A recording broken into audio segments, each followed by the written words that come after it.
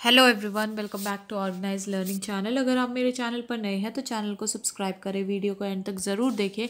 और अगर आपको वीडियो अच्छी लगे तो वीडियो को लाइक शेयर और कमेंट करें। तो आज की इस वीडियो में हम डिस्कस करने वाले हैं directorate of education GNCT of Delhi की तरफ़ से मिशन मैथमेटिक्स क्लास टेन के लिए चौदह दिसंबर दो हज़ार बाईस का क्वेश्चन ऑफ़ द डे तो क्या क्वेश्चन हमें दिया गया है?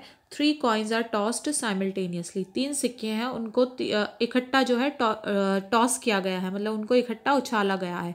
तो find the probability of getting at least one head तो प्रोबेबिलिटी बतानी है कि कम से कम एक हेड जो है, वो आएगा। यानी कि ये तीन सिक्के अगर उछाले हैं तो कम से कम एक हेड तो होना ही चाहिए, उससे ज़्यादा भी हो सकते हैं। लेकिन एक हेड ज़रूर होना चाहिए कम से कम। ठीक है? तो इसका सोल्यूशन देखते हैं, कैसे करेंगे इसको हम। तो ये हमारे पास सोल्यूशन हो जाएगा।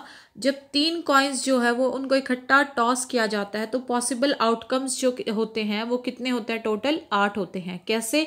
मान लीजिए ये तीन सिक्के हैं तो क्या क्या पॉसिबिलिटी हो सकती है कि मान लो तीनों पे हेड हेड हेड आ गया तो फ़र्स्ट पॉसिबिलिटी ये हो गई। सेकंड क्या हो सकती है? टेल टेल टेल आ गया तीनों पे, ठीक है? थर्ड क्या हो सकती है?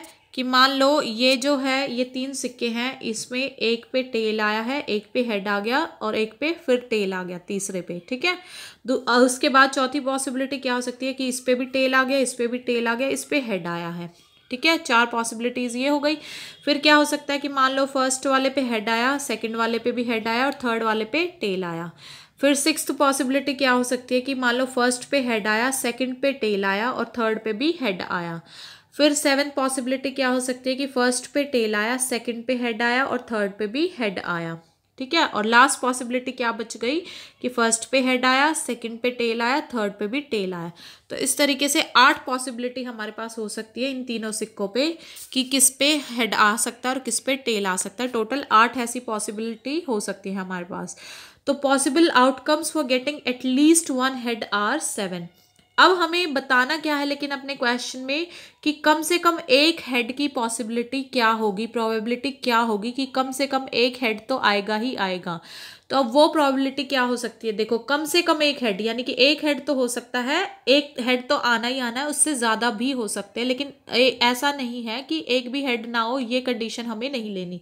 तो देखो फ़र्स्ट कंडीशन यानी कि एच एच एच तीनों पे हेड आ गया, ठीक है, हम ले सकते हैं। ये है टेल टेल टेल इसमें एक भी हेड नहीं है तो ये पॉसिबिलिटी हमारे पास नहीं बन सकती। फिर सेकंड हम ये ले सकते हैं टेल हेड टेल इसमें एक हेड है तो हाँ ये ले सकते हैं. फिर थर्ड वाली क्या है? टेल टेल हेड इसमें भी एक हेड है तो ये भी हम ले सकते हैं. नेक्स्ट क्या है? हेड हेड टेल इसमें दो हेड है तो ये भी हम ले सकते हैं. उससे अगले में क्या है? हेड टेल हेड इसमें भी दो हेड है तो ये भी हम ले सकते हैं. नेक्स्ट में क्या है? टेल हेड हेड इसमें भी दो हेड है, ये भी ले सकते हैं। और लास्ट में क्या है? हेड टेल टेल इसमें भी एक हेड है तो ये वाले भी हम ले सकते हैं। तो टोटल जो आठ आउटकम्स थे, उनमें से सात ऐसे हैं, जिनमें कम से कम एक हेड तो होगा ही होगा। तो इसलिए सात जो है, वो फेवरेबल आउटकम्स हो जाएँगे हमारे पास। तो अब जो प्रोबेबिलिटी होगी एक कम से कम एक हेड लेने की, वो क्या होगी? उसका फॉर्मूला क्या, कैसे निकालते हैं हम?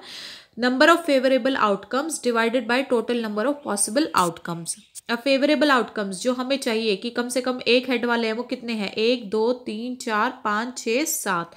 सात है डिवाइडेड बाय जो टोटल है हमारे पास पॉसिबल आउटकम्स वो कितने एक, दो, तीन, चार, पाँच छः सात, आठ। वो है आठ तो सेवन डिवाइडेड बाय एट तो ये जो प्रोबेबिलिटी है सेवन बाई एट ये प्रोबेबिलिटी है कम से कम एक हेड की जब तीनों कॉइन्स जो है वो साइमल्टेनियसली टॉस किए जाएँगे।